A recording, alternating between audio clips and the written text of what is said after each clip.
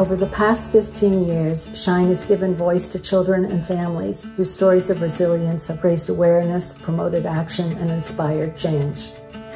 Thanks for joining us as we look back on some of these amazing stories that we've had the privilege of producing over these years. I think the challenge for War Dance really started from the beginning when we were talking to Albie and Susan.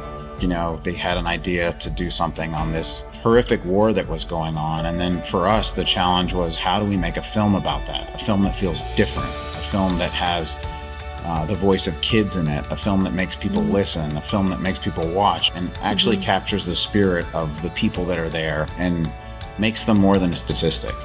There were so many things that we didn't know what was the subject going to be of the film? What part of Uganda were we going to go to to find that story? Were we going to use the music competition or not? And I just really felt their support, being like, guys, we believe in you. And that feels amazing.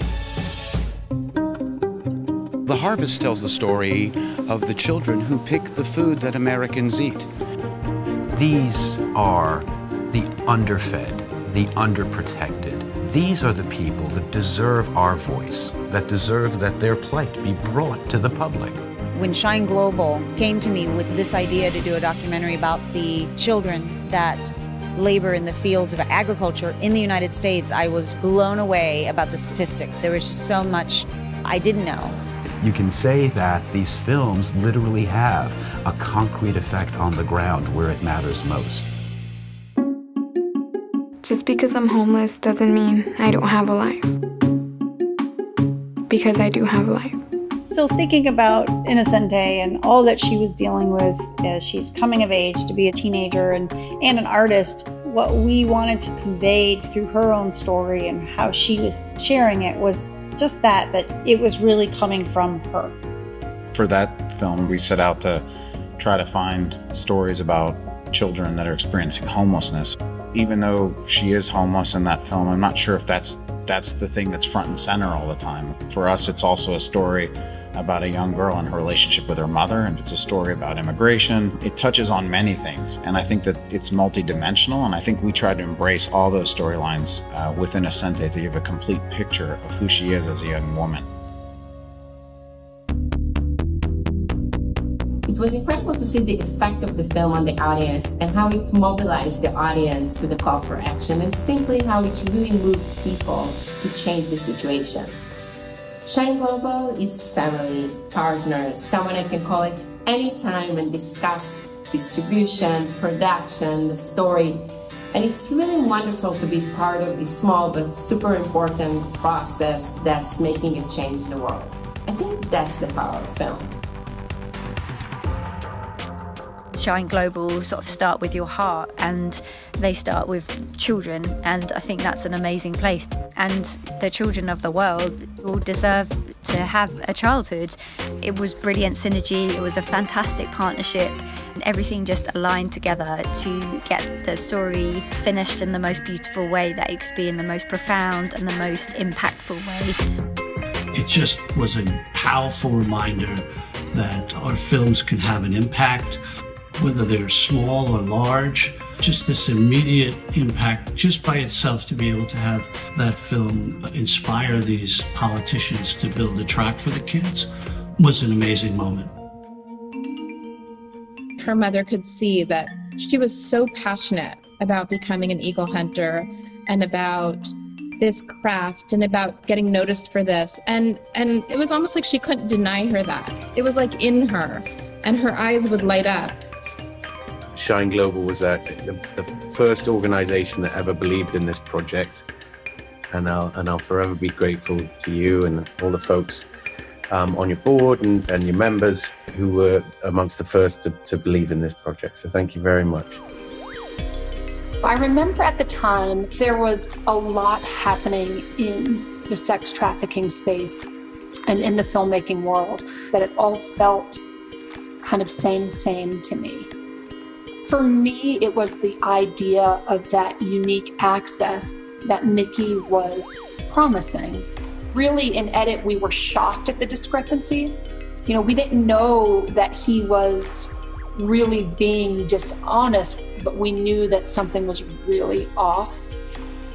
It was really devastating. It felt gut wrenching. You know, these are real lives and people we've become attached to and care about.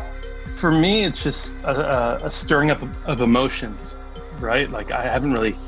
It's almost. It was such a tough project, and, it, and we cared so deeply about the film and the girls and these uh, emotions for stirring up are really powerful. I want them to remember I'm the storyteller. We wanted to make a film that was different than so many other films that have been made. We developed this idea of a fictional character as being the sort of the vehicle for the kids to share themselves with you. I just thought how inspiring a story these kids, what they can teach me and everybody. Think of the, the fires lit in young people's bellies when they think about what they're capable of doing. Being a part of the Shine family is amazing because they help ensure that a film can make its lasting impact.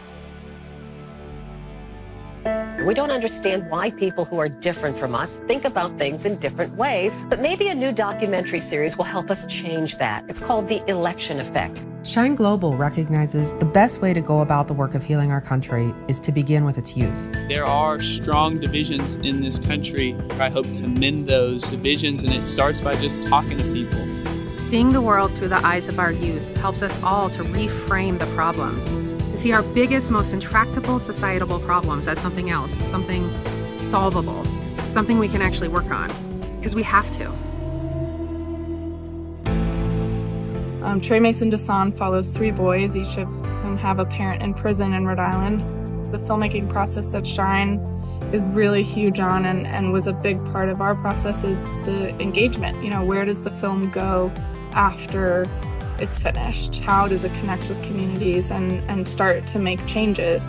We were able to take the film all around the world, across Greece, London, all across the United States.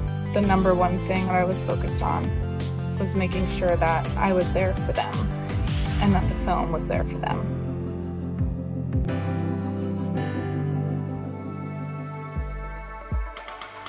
The Difference was a series that I directed, and it was about the difference a child's life can have if they have a mentor in their life.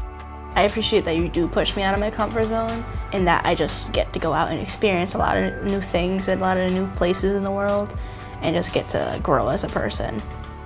So if I can be that mentor that I wish I had, then I feel like I've done my, my part.